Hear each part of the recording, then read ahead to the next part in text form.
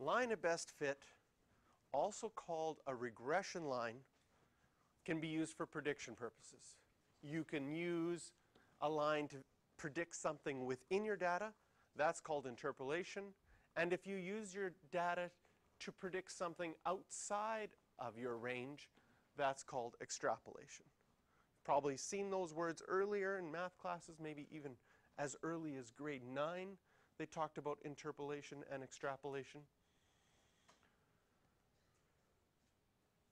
So far, if we wanted to find our equation of our line of best fit, well, we drew it by first finding our mean point. And then when we drew it, you can look, do you go through any other point on your line? If you have another point, as soon as you have two points on a line, you can calculate the slope. And you can either use y equals mx plus b or your point slope form, y minus y1 equals mx minus x1, to find that equation.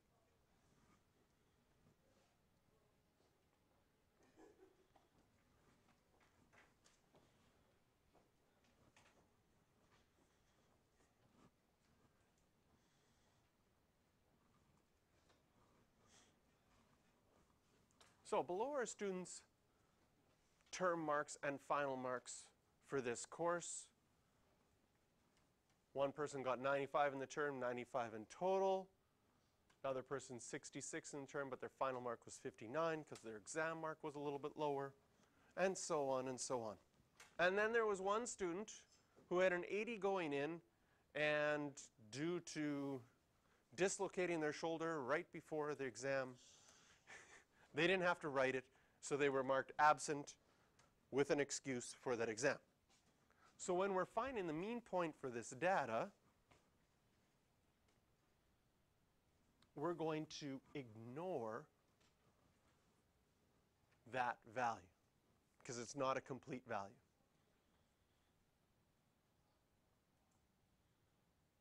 So we can add up all the x values, which are term marks, divide by 9. Add up all the y values, which are final marks, and divide by 9. Mm-hmm. You know which one's x, whichever one is listed first in your table will always be x. So either the first row or the first column. And so we have a mean point for this data that's 75, 72.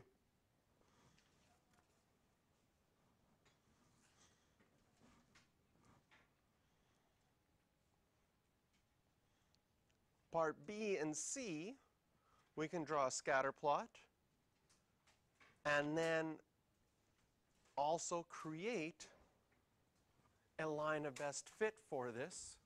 So what I've done here, I drew my scatter plot. By eye, I figured out this is the line that I want to do where half the values are above and half the values are below. And in drawing that line, I happen to also go through another point right here. So I'll let you add those points in.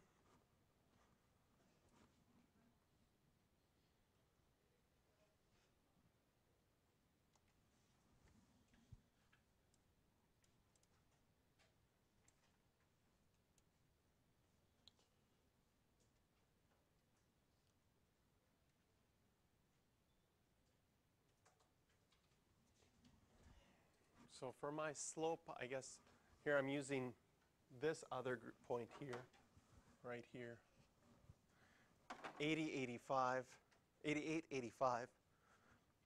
I use that to calculate my slope, rise over run. And then once you have your slope, you can choose either y equals mx plus b, which you can plug in your slope and plug in your point and solve for b. In this case, I got b to be negative 3, which gives me an equation of y equals x minus 3. Or you could use y minus y1 equals mx minus x1. This formula is the same thing, except you plug in your slope and you plug in your point and then you rearrange it. And when you rearrange it, you automatically get B. Okay, just a show of hands with this formula. How many people remember that formula from grade 10? Yes? No? Yeah, but you didn't use it? It's actually a really e okay, question. How many people remember the slope formula? Good. Can you see that those two formulas are basically the same? If you just multiply by the denominator on both sides, you have the same formula. But instead of having two points to plug in, x2 and y2 just becomes x and y. It's the exact same formula. It's just your slope formula rearranged. And that can be another easy way to remember that formula. And now if we want to predict if you happened to get injured right before the final exam and not be able to write it, and you went in with an 80, what would be fair for the school to give you as a final mark? Well, according to this data, most students' marks went down after their final exam. Some went down more than others. But on average, it looks like most students' marks went down by three marks. So to be fair to the rest of the students that had to write the exam, it could be argued that this student's final mark, having not written the exam, would be 77. Now, if a school used this, then there could be dangers involved other students are like, that kid never studies for an exam. Let's quick, let's go injure him so he doesn't bring down the rest of our marks. that would be a bad, a bad result of using statistics. it's like, I better start studying, otherwise the other kids are going to beat me up.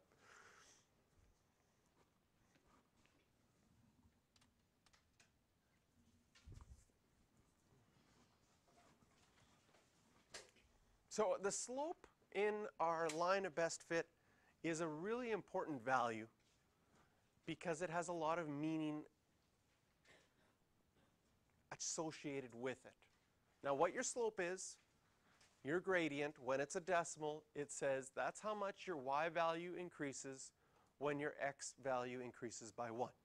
Because if you had a slope of 3.7, you could write it as a fraction 3.7 over 1. And remember, slope is rise over run. So your rise is how much your y value changes. Your run is how much your x value changes. So when you write your slope as a decimal, you can always write it as a fraction over 1, which means your y value in this case increases by 3.7 when your x value increases by 1. Now, sometimes it's nicer to have your slope as a fraction with whole numbers. So if you had 37 over 10, that's the same as 3.7. But that means that your rise is 37, your run is 10.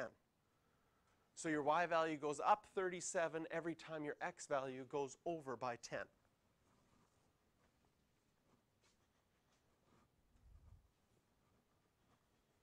And that's what's saying in the second line, if your slope or gradient is a over b, like 37 over 10, every increase of 37 in the y variable would be an increase of 10 in your x variable. The y-intercept just is telling you what's happening when x is 0. The y-intercept may sometimes have no meaning whatsoever. Okay? So for example, um, when a baby is born, they measure their weight and they measure their height. So you might be, do, do you remember how tall you were when you were born? Do some of you know that you were like, I was 19 centimeters, I was 21 centimeters? Your parents might remember exactly what you were. Do you remember your weight when you were born? You're like, oh, I was a heavy baby. I was nine, nine pounds and six ounces, or I was super light. Okay? But there would probably be a relationship between the height of the baby and the weight. And you could draw a scatter plot and have height as your x value and weight as your y value. And it would make a nice line of best fit. Because chances are, if you're taller, you're going to weigh more than a, than a really short baby. Because it's not like, oh, that baby ate lots of cheeseburgers before. Th- that doesn't happen as much. So there's some variant in there. But in this case, the reason I bring this up, it doesn't really make sense to look at a y-intercept. Oh, this baby was born with a height of zero. Okay? How much do they weigh? Well, it might be it might be that you get a y-intercept in this case because the line of best fit might actually go through the y-intercept and be like three pounds. So all babies born with a height of zero weigh three pounds. Well, that wouldn't make sense in this situation. So it might not always be meaningful.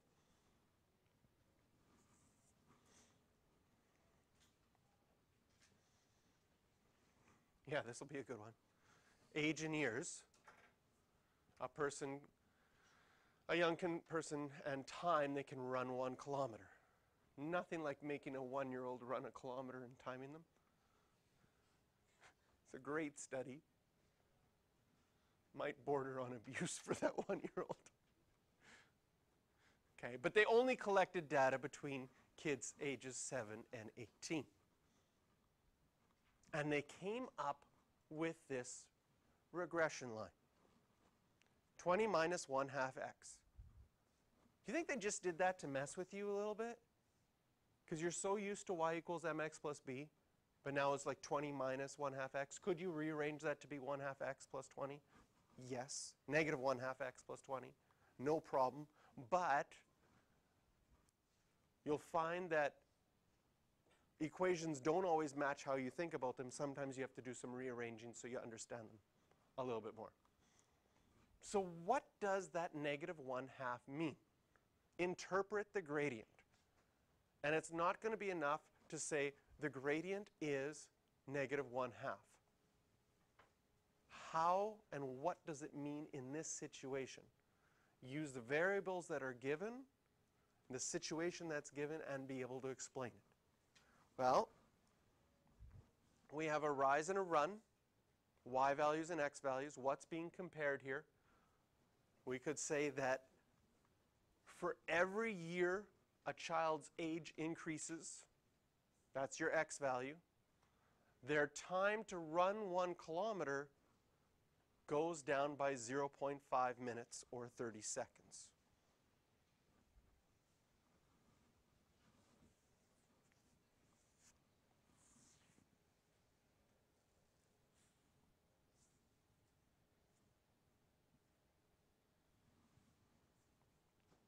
This case, the y-intercept would be 20. Okay? This doesn't quite make sense. Right? That baby that just popped out, you put him down, say run a kilometer, and it would only take him 20 minutes. That doesn't seem reasonable at, at all either. Other things that might not be good for reasonable, reasonableness of this study. I would love if this continued. Right? Means once you turn 40, you can teleport one kilometer. Nice. Unfortunately, that doesn't happen. Spent a whole hour yesterday trying to teleport. No luck. Maybe I just didn't try hard enough.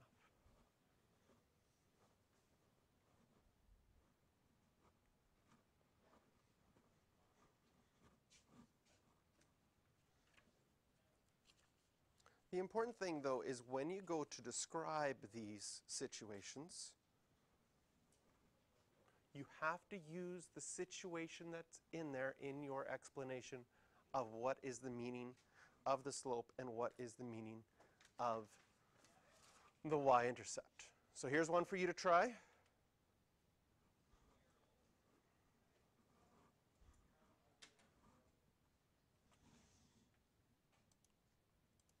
Again, check how you did.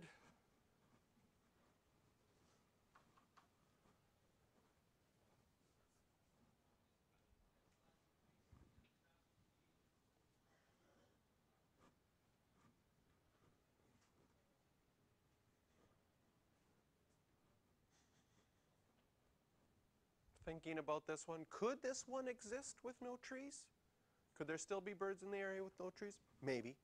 Okay, so that might start to make sense. Right? If we extrapolated too far ahead, it's like, oh, let's put a billion trees in this hectare of land. Well, then all of a sudden that doesn't make sense anymore either. Yeah. Ooh, that's a good question. That might be good. If there's no trees, is it still a forest? Well, you could find you could find any like if you looked into this is good theory of knowledge. Here we go. Bring it in. Right? If you went to a part of a forest that didn't have a tree, are you still in the forest? Or are you only walking in the forest if you're walking on a tree? Hmm. Or in a tree. Again, teleport from inside one tree to inside another tree. So, what is the definition of a forest?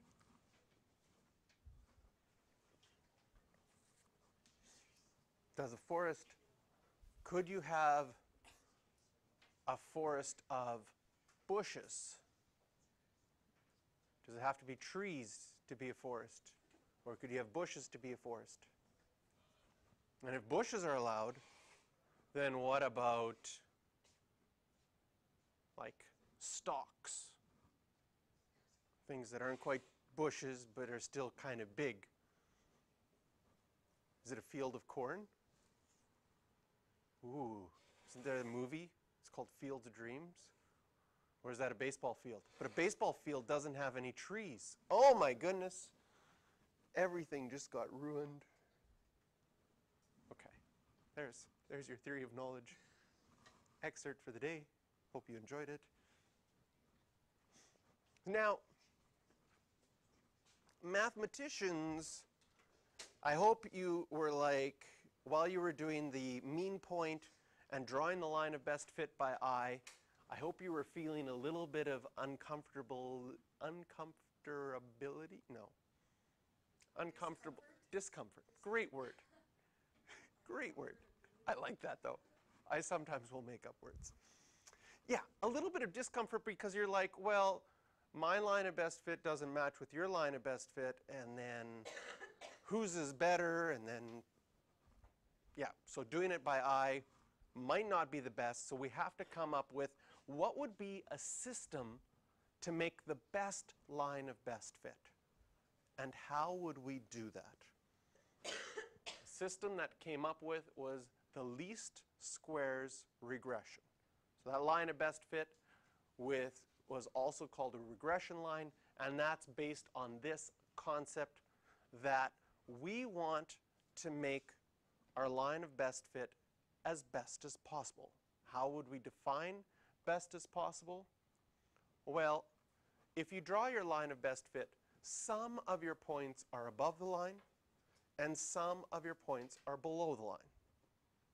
And what you want to try to do is you want to try to minimize the distance that those points are away from that line. So for example, I could draw this same line of best fit has three points above and three points below, right?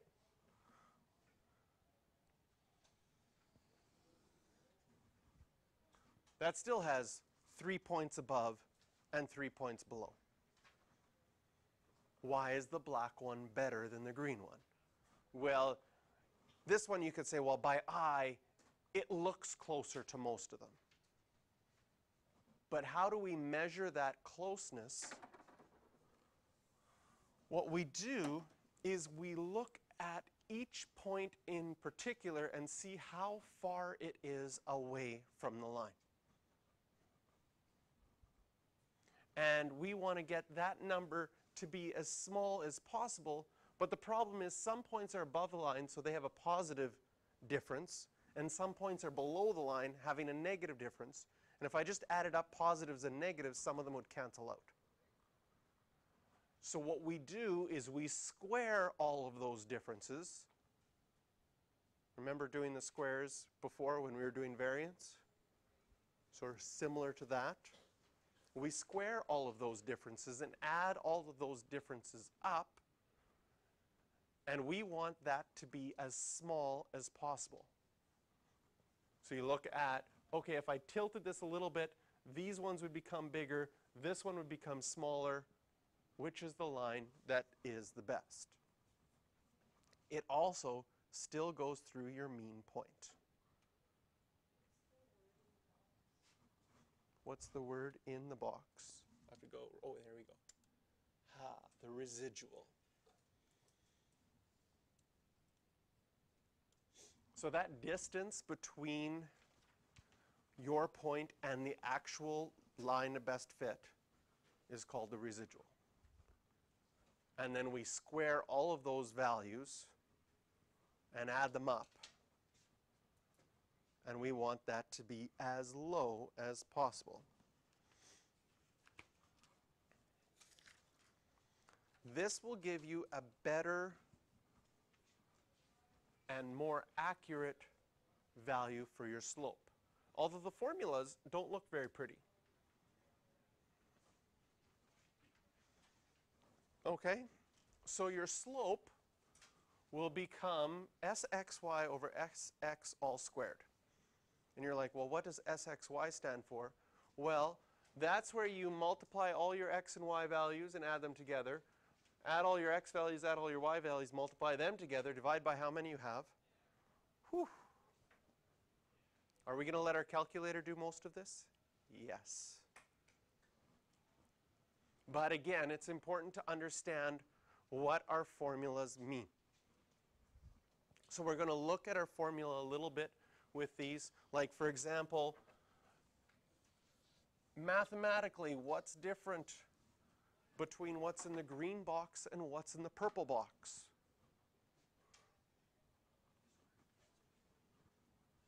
Okay? If these are my x values, 2, 3, and 5, Okay? A little bit of mental math. What is the answer to the green box? What is the answer to the purple box?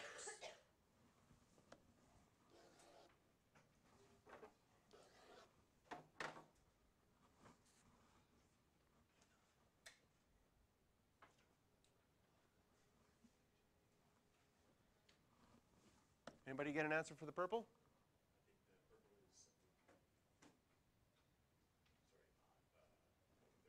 38. And the other one is 100. Yes. So how do you do the purple? The purple says square each x value. 2 squared is 4, 3 squared is 9, 5 squared is 25, and add them up. 4 plus 9 plus 25 is 38. The green one says add all your x values up and then square your total. So 2 plus 3 plus 5, that's 10. 10 squared is 100.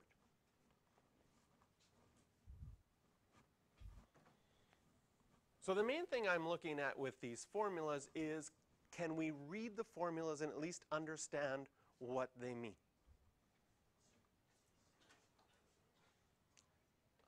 Now I'm curious, are these formulas on your formula sheet? We'll have to take a look.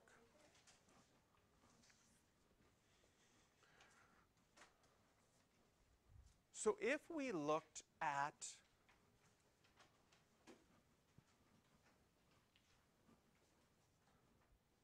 the numbers that we have, and if we just had three points, 1 comma 3, 2 comma 1, and 3 comma 5.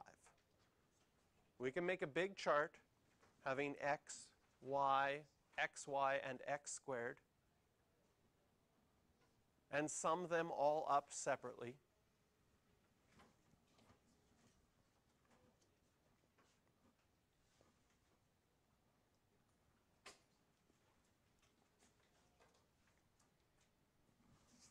And from that, plug those into our formulas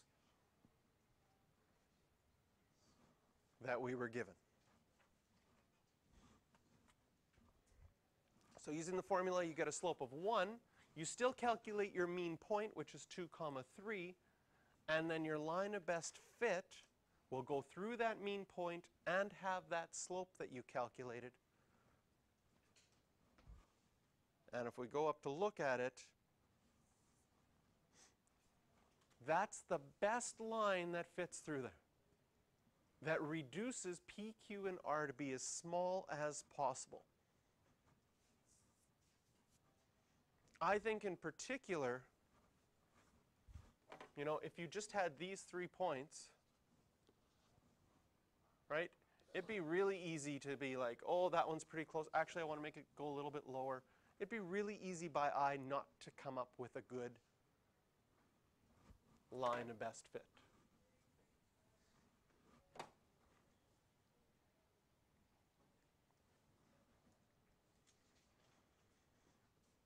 Now we're going to look at taking out our calculator.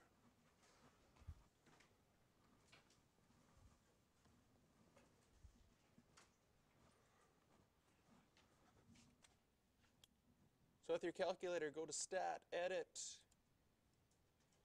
We'll put in the three points that we had, which are 1 comma 3, 2 comma 1, and 3 comma 5. 1 comma 3, 2 comma 1, 3 comma 5.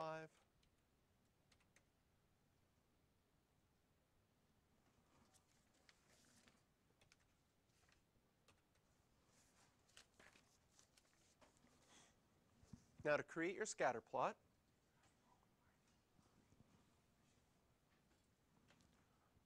go to second stat plot, click on your first one, turn it on, and the type that it has is the scatter plot here. Your X list is coming from list 1, your Y list coming from list 2. And then when you go to graph, you can go zoom, and number 9 is statistics. That will set your window up so that it shows your points the nicest. But after that, you might want to go to your window and check. So on my window, it started at 0.8 to 3.2, and y went from 0.32 to 5.68. I might want to change those to go from negative 1 I don't know, let's just make this go up to 4 and negative 1 here up to 6. So now when I hit graph, I can at least see my x and y axes. So there's my three points, and I want to draw a line of best fit through them.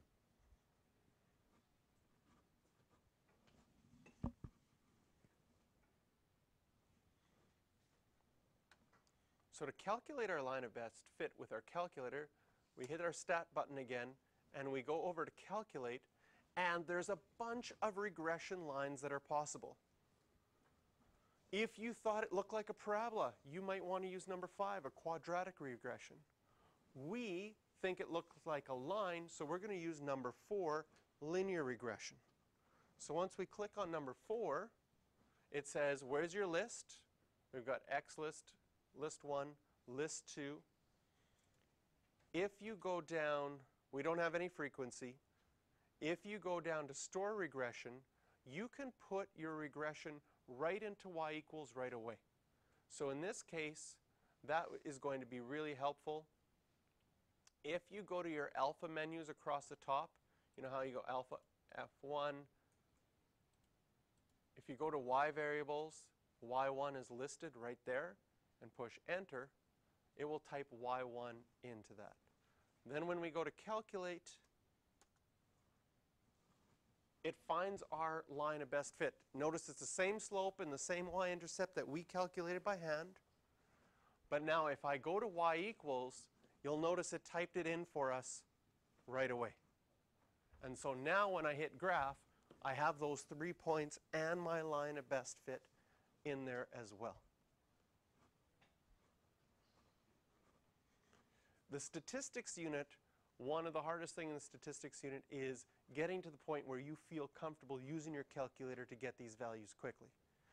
Because if you can use your calculator, you can get values quickly, but if you don't remember how to use your calculator, it can be very problematic. So we just need practice doing more things with our calculator to find these values.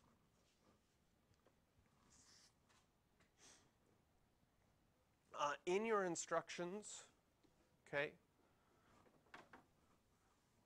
uh, you can add here,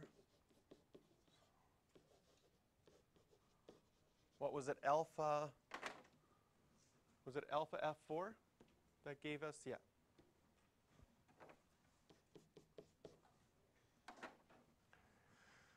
In order to store that regression, another way that you could get your y1, and this is what the instructions are saying, another place, so I'm going to go back to stat, calculate, do this again, number four, linear regression. Another place that you can get the y1 is under vars, which is variables, and then over to y variables, enter on function, and then the y1 is stored there as well. So that's another way that you can get the y1 from your calculator.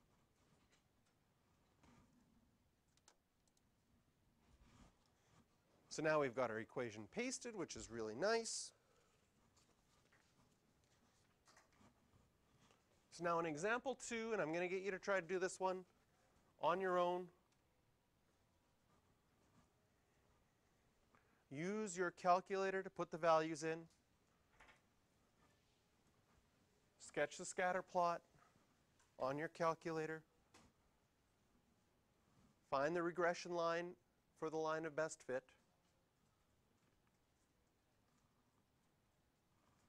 And you can you're you are apparently flying out of Changi Airport and those are the different costs that it cost.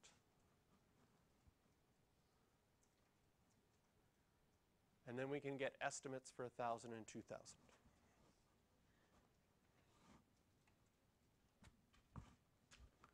Our equation we'd write down with our approximation sign 0.117x plus 83.3. Because we've rounded to 3 sig figs, so the approximation sign needs to be there for that. But when we use our equation, we're going to be using all of our values to figure that out.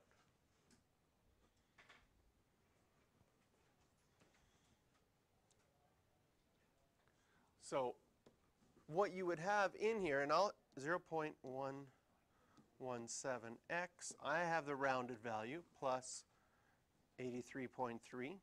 You would have the exact value.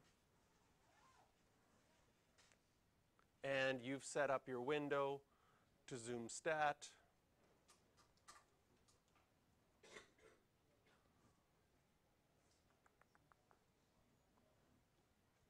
I'm going to just set my window up. We have to go up to 2,000, so I'm going to go up to 3,000. I'm going to go by 500s. And the costs, what were some of the costs? S looks like the highest cost was around $300, so I'm going to go up to 500. So there's my line of best fit. It's not exact because I used the rounded values, but if you stored yours, your value would have the exact values. So then, use your equation to estimate the cost of a 1,000 kilometer flight. Well, x is your kilometers, y is your cost. What you're doing right now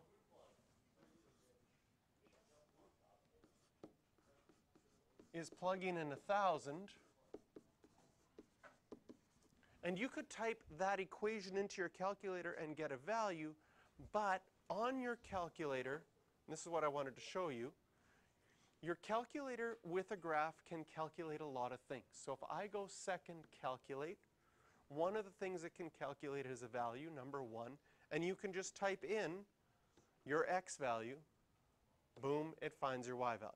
Now, my number here isn't exact because I'm using approximations. When you put a 1,000 into yours, what do you get? 200.64. Nice. So here, the answer is approximately $201 to 3 sig figs. Notice with my rounded one, I would have got 200. So then I would have had to write 2.00 times 10 to the 2 to write sig figs. But the sig figs were different using the rounded answer versus the real answer. Now often on these questions on the exam, they have, if you wrote your equation to 3 sig figs and then used it, they would still give you full marks. Although the 201 is a better answer. Because generally we don't like to round early because it can cause some mistakes. Use your equation to estimate the cost of a 2,000 kilometer flight. Same thing, plug in $2,000.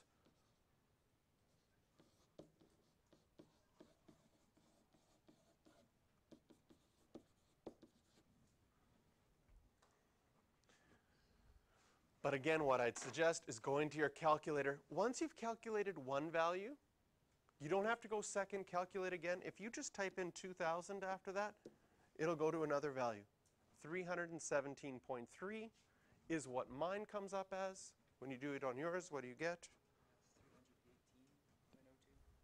318. So that would be your better answer.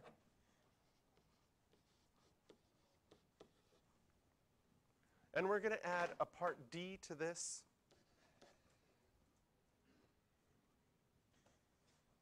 Okay?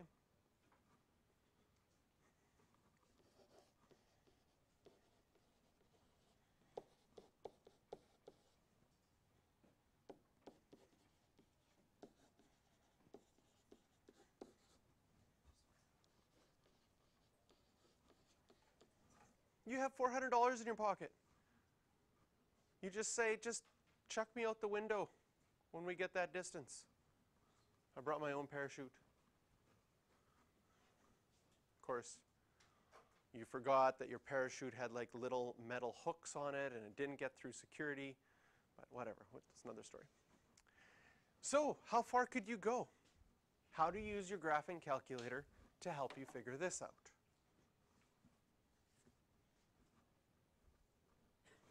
So we go to our calculator. We now, there's not a place, so you go to second calculate. The value allows you to plug in an x value. There's not a place where you can plug in a y value. However, you could go to y equals, and in equation number two, you could type in $400. y equals 400 would be a horizontal line. Now when I graph that, I get a red line that goes across. That represents $400. And now you could use your calculator. Second, calculate number five. Where do those two lines intersect? Enter on the first curve, enter on the second curve, enter again. And you would get 2,706. Hmm? and what, did, what does yours come up with exactly? 2,698. Ooh, that's a good answer. I like it. Okay. So the actual answer is 2,698 dot dot dot decimal dot dot dot. How would you round that to 3 sig figs?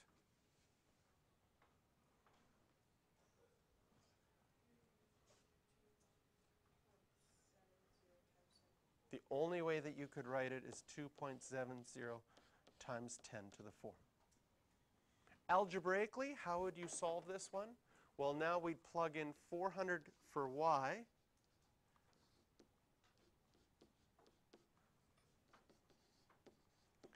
And it's not super hard to do the algebra to move the 83.3 over and divide by 0.117. The algebra is not hard, but we want to be aware that plugging in y equals 400 and finding the intersection is probably faster. So if we have a faster technique with our calculator, we want to be able to use it. So your job that's really going to help you with all of the calculator questions you have this year is to think, how would I do it by hand? Solve it by hand if you can. How would I do it with my graphing calculator? And then after you've done both, which is faster so that if I have a question like this again, I can use the faster method. Because sometimes we as students get, you know, pre-calculus in particular causes us to think about doing it algebraically, which is plugging in 400 for y and solving this, when our calculator can solve it for us quicker. If that's the case, we want to be able to use our calculator to do it quicker.